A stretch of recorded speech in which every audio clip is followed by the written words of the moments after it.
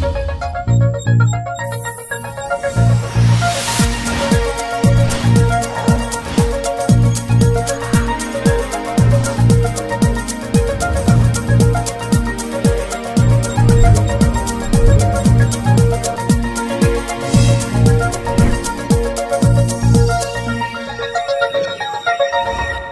Saludos, bienvenidos un día más a Noticias Canal Sierra de Cádiz. Hacemos repaso de los titulares más importantes de esta jornada. Un hombre ha sido atropellado y ha quedado atrapado bajo el coche en Arcos de la Frontera. La persona accidentada ha sido un varón de unos 20 años de edad durante la pasada madrugada del día de ayer. El Ayuntamiento de Villaluenga de Rosario ha presentado su cartel del Festival Taurino que vivirá la localidad. Figuras como Leonardo Hernández, Lea Vicens o Salvador Cortés estarán presentes en esta corrida de toros, un festejo que dará el pistoletazo de salida a la temporada en Cádiz y que se celebrará el próximo 4 de abril.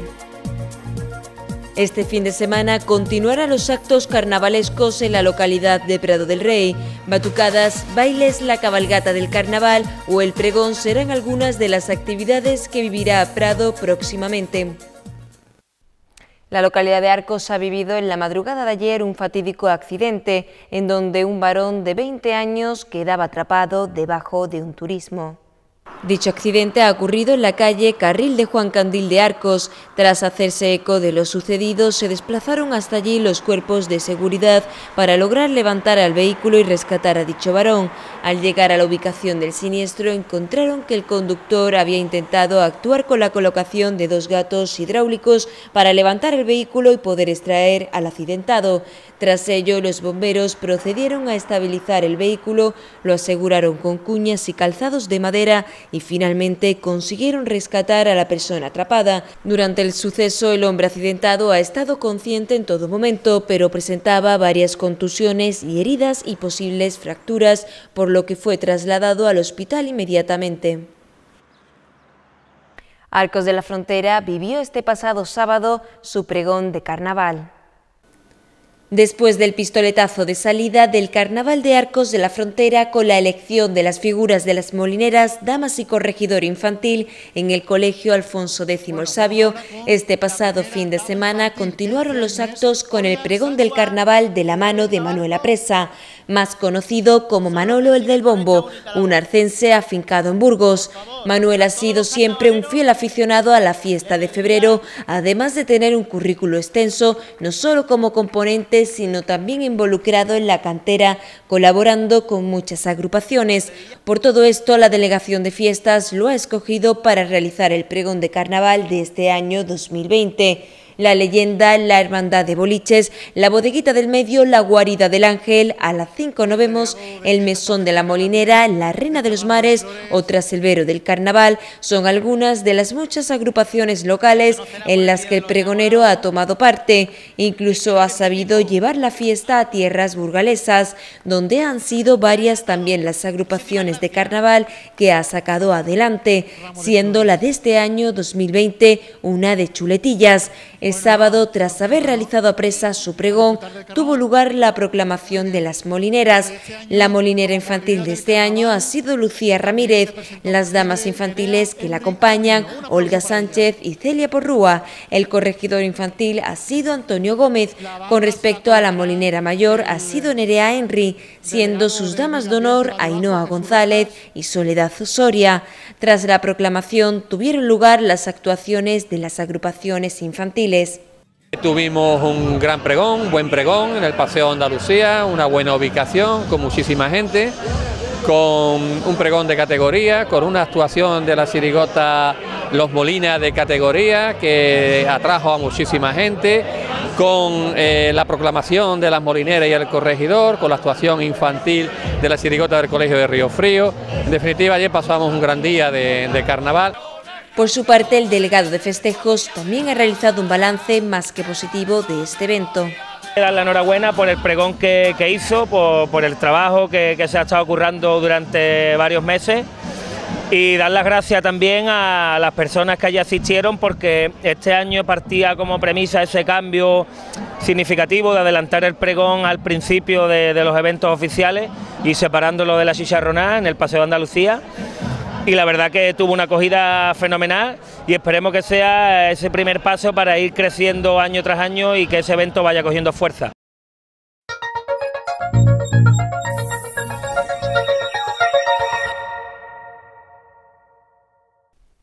Y continuando con las celebraciones en Arcos de la Frontera, el domingo tuvo lugar su conocida y tradicional chicharrona. Se trata de la trigésima edición la que se celebraba este año. Multitud de arcenses salieron a la calle para disfrutar de este evento que a tanta gente reúne año tras año. El público pudo disfrutar de hasta 100 kilos de chicharrones que fueron distribuidos por personal municipal desde una de las carpas instaladas por el ayuntamiento en la Plaza de las Aguas. Durante la primera parte del evento se llevó a cabo la entrega del chicharrón de bronce a las murgas de las vías. Esas agrupaciones que llevaban hace décadas sus letras a los vecinos de la localidad.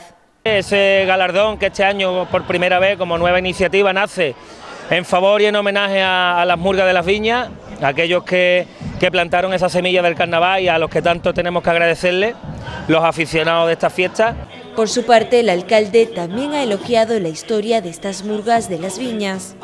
Hemos entregado el chicharrón de bronce a la gente de las viñas, ¿no? del carnaval de siempre, de la historia, la tradición en Arco de la Frontera, estas personas que merecen este homenaje, que han llevado esta historia, esta tradición de los carnavales de Arco durante tantos años. El ayuntamiento ha querido hacerles este reconocimiento en esta primera edición del chicharrón de bronce. Yo creo que con todo merecimiento pues se lo han merecido. Durante el evento fueron varias las agrupaciones que actuaron. Ha tenido lugar la actuación de, la agrupación infantil, eh, la Chiriparsa, los cuentistas del, Colegio Río Frío. Y ahora pues estamos llevando a cabo el carrusel de grupos, los grupos locales, hemos establecido varios puntos alrededor de la plaza y estamos pues llevando a cabo actuaciones, eh, como digo, en diversos puntos para que la gente desde un mismo sitio fijo pueda o tenga la opción de escuchar a los diferentes grupos. Para que este evento transcurriese con total normalidad, el ayuntamiento de la localidad ha llevado a cabo varias medidas de seguridad. Desde el ayuntamiento, pues siempre pensando en nuestros ciudadanos, intentando colaborar con, el, con que las fiestas salgan lo mejor posible, Mm, todas las medidas de seguridad se han adoptado, los cortes de calle, todas las infraestructuras, un gran despliegue en infraestructura que se han hecho. Desde aquí felicitar a todos los funcionarios y funcionarias de, de Arcos, que, del Ayuntamiento de Arcos, que han hecho posible que estos actos de carnaval, tanto el pregón de ayer como la chicharronada de hoy, pues se hagan en las condiciones en las que se están haciendo y simplemente, pues bueno, que disfrutemos mucho del día de hoy y animaros a que os acerquéis a la Plaza de las Aguas. La programación de carnaval continuará este fin de semana con más actos y actividades para todos los públicos. Y vamos a seguir la semana que viene en el Barri Bajo con el desfile infantil de carnaval, en el Barri Bajo también la, la Versa, en el casco antiguo el Ajo Molinero y en definitiva terminaremos con el carnavalito y la cabalgata de carnaval. Yo creo que es una programación muy extensa y muy intensa para que pasemos una buena jornada de carnaval en Arco de la Frontera.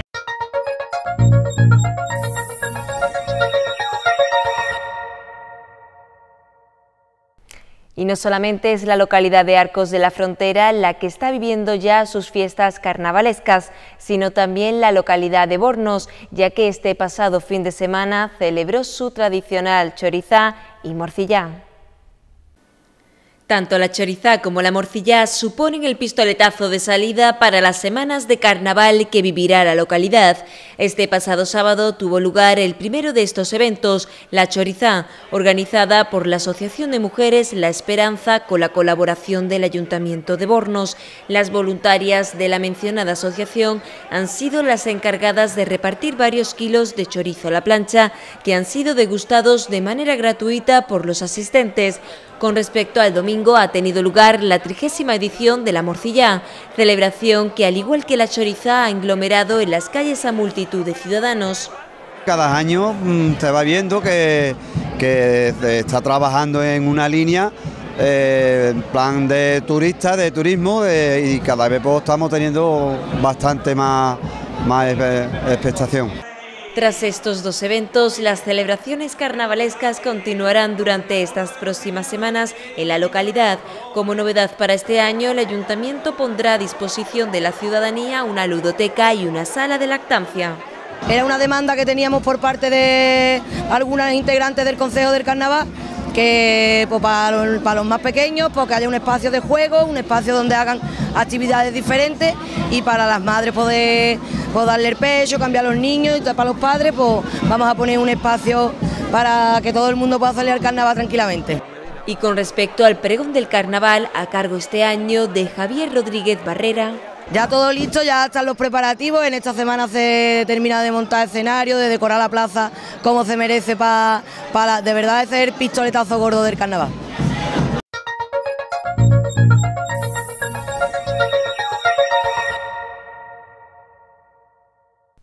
En otro orden de cosas, la localidad de Villaluenga se prepara ya para celebrar su primera corrida de toros que tendrá lugar el sábado 4 de abril.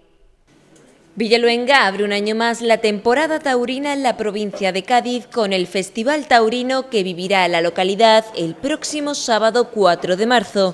Con esta corrida de toros mixta se dará el pistoletazo de salida a la temporada en Cádiz. Este evento se enmarca dentro de la celebración de su tradicional Feria del Queso. Una vez más, Villaluenga de Rosario y su ayuntamiento apuesta por la cultura taurina de las corridas de toro y de la tauromaquia como un patrimonio de la localidad. Que duda cabe que la historia de nuestro pueblo pues se escribe con letras bastante grandes, letras doradas de, con la historia de la tauromaquia, sobre todo porque Villaluenga con los toros y la celebración de los espectáculos taurinos hoy por hoy es de los municipios la provincia de Cádiz que tiene mayor número de eventos a lo largo de, un año y por tanto de ahí la satisfacción y el honor de poder un año más poder celebrar en el pueblo más pequeño de la provincia de Cádiz una de las mayores corridas de toros que se va a celebrar en esta edición 2020. Yo creo que se dan todos los ingredientes, lógicamente si el tiempo no lo impide, para que esta tarde podamos disfrutar y puedan disfrutar no solamente los toreros, las máximas figuras. En el cartel se han anunciado quiénes serán los rejoneadores como son Leonardo Hernández y Lea Vicens, junto al matador de toros Salvador Cortés. Los toros lucirán los hierros de Marcelino Acosta y Juan Pedro Domecq. Yo creo que es un cartel pues con dos rejoneadores que ahora mismo están en el máximo nivel en el escalafón de la tauromaquia en cuanto a rejoneadores se refiere, tanto Leonardo Hernández como Lea Vice, que duda cabe pues que destacar también eh, la labor y la historia y el trabajo que ha realizado el maestro Salvador Cortés a lo largo de estos años como máximo eh, como matador de toro. Y que duda cabe pues que eh, Ignacio Bonmati, joven promesa, novillero de la localidad, que a buen seguro nos dará bastantes tardes de gloria y próximamente también como matador de toros. Por tanto, yo lo que sí espero que en el día de hoy pues damos el pistoletazo de salida con la presentación oficial de esta correa de toros que próximamente también vamos a realizar en la Diputación Provincial de Cádiz. El alcalde de la localidad ha comentado que espera recibir el apoyo de los aficionados y el turismo que suele frecuentar la zona. Animaros a, que podamos llenar esa plaza de toro y sobre todo para que de una eh, vez por todas podamos decir que la autogromaquia no está en decadencia y que por tanto las corridas de toro todavía siguen siendo un espectáculo atractivo para no solamente los amantes de la tauromaquia, sino también para el público general. La Feria del Queso comenzará el viernes 3 de abril hasta el domingo día 5. En la última edición, la décima, 30.000 personas pasaron por los tres días de feria, lo que la ha convertido en uno de los referentes del sector quesero a nivel nacional. El alcalde Alfonso Carlos Moscoso ha señalado que no solo se trata de un gran acontecimiento para el pueblo, sino de un magnífico escaparate para las empresas del sector, ya que se puede alcanzar no solo a los mayoristas y distribuidores, sino también al consumidor final con venta directa y promoción. Y en la localidad de Prado del Rey también se preparan para vivir sus actividades recogidas en su programación 2020 de carnaval.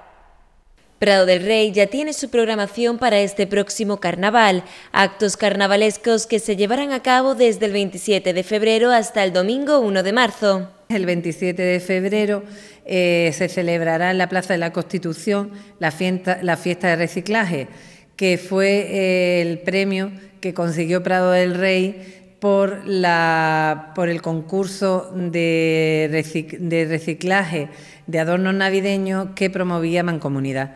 A partir de las cuatro y media de este día, los más pequeños podrán disfrutar de una serie de actividades como son batucadas, bailes e incluso una merienda. Con esto se dará el pistoletazo de salida al carnaval en la localidad. Los actos continuarán el viernes 28 de febrero con el pregón de carnaval. A partir de las 7 de la tarde, en el Teatro Maestro José Toro Dobla, pues se hará el pregón de carnaval que tendremos este año el placer de disfrutar del discurso de Curro Pozo Polé, un gran chirigotero, un gran poeta y, en definitiva una persona unida al carnaval y a la cultura de nuestro pueblo.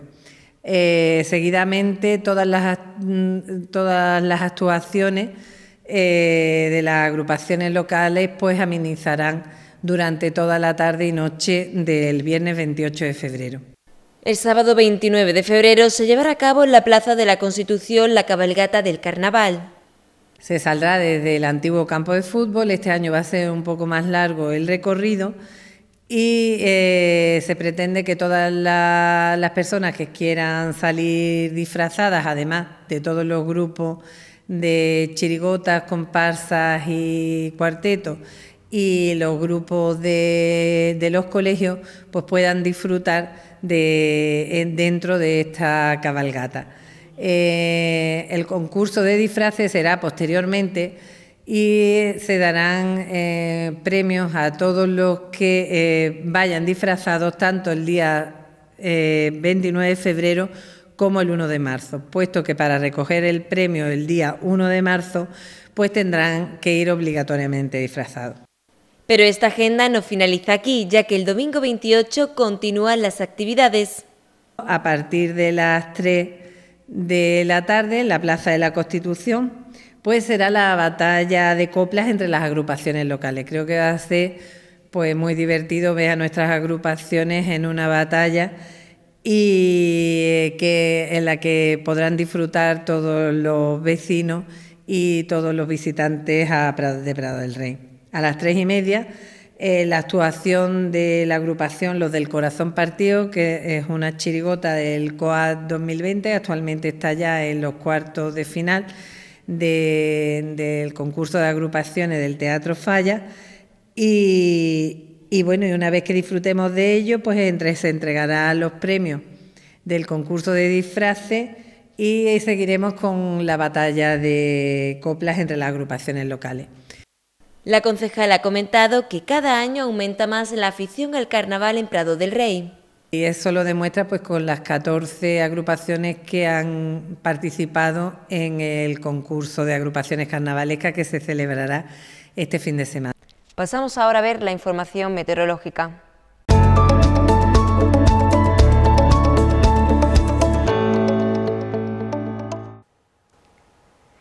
Este martes las temperaturas diurnas continuarán bajando, un descenso que será notable en el tercio oriental peninsular. Además, la entrada de aire frío en capas altas de la atmósfera y el viento húmedo de levante aportarán nubosidad al sureste peninsular. En el mapa de probabilidad de precipitaciones para este martes podemos ver cómo estas están aseguradas en el sureste de la península, en el norte de Galicia, el Cantábrico más oriental, el noreste de Cataluña, el área del Estrecho y también en ambos archipiélagos. En el mapa de variación de máximas para este martes podemos ver cómo las temperaturas diurnas continuarán bajando en la mitad norte y comenzarán a hacerlo en la mitad oriental, donde este descenso puede llegar a ser notable, ya que las máximas pueden bajar hasta 6 u 8 grados respecto al lunes. Las temperaturas diurnas también bajarán en las Islas Baleares y en el archipiélago canario. En el mapa de superficie podemos ver cómo ese frente se retira ya por el este y se impone el viento del noreste que favorecerá esa bajada de las temperaturas y dejará esas lluvias débiles y ocasionales en el sureste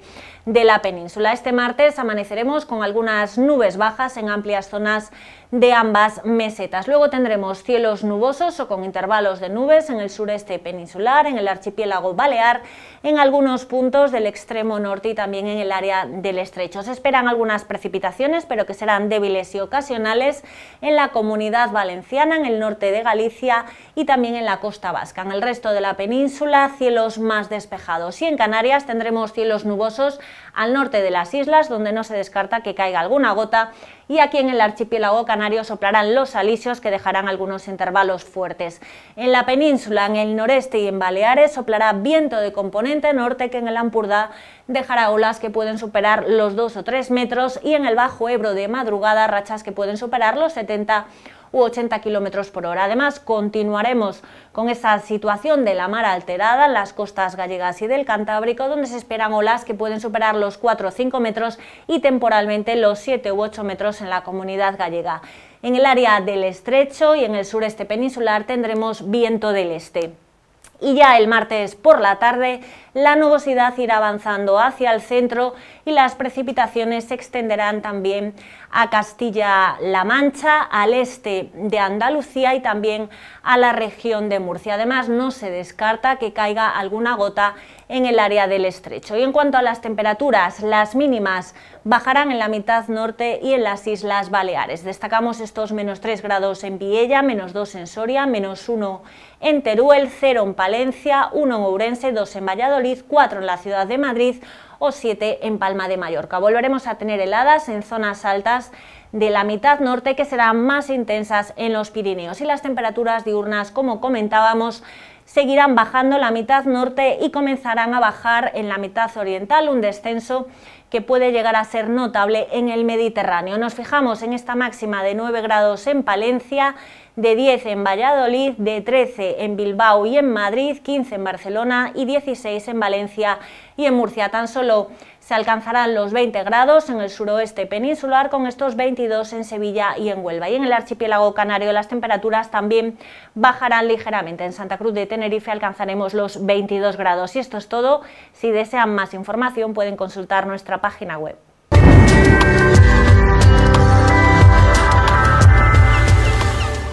volvemos a realizar un repaso de los titulares más importantes de esta jornada. Un hombre ha sido atropellado y ha quedado atrapado bajo el coche en Arcos de la Frontera. La persona accidentada ha sido un varón de unos 20 años de edad durante la pasada madrugada del día de ayer. El Ayuntamiento de Villaluenga de Rosario ha presentado su cartel del Festival Taurino que vivirá la localidad. Figuras como Leonardo Hernández y Lea Vicens o Salvador Cortés estarán presentes en esta corrida de toros, un festejo que dará el pistoletazo de salida a la temporada en Cádiz y que se celebrará el próximo 4 de abril. Este fin de semana continuarán los actos carnavalescos en la localidad de Prado del Rey. Batucadas, bailes, la cabalgata del carnaval o el pregón serán algunas de las actividades que vivirá Prado próximamente. Y esto ha sido todo por hoy. Muchas gracias por acompañarnos un día más. Que pasen muy buena noche.